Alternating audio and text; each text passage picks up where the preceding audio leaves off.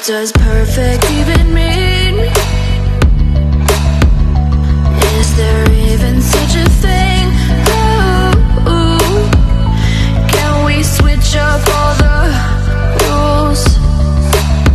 And imagine a utopia Darling, I'm just so fed up with these expectations They keep weighing me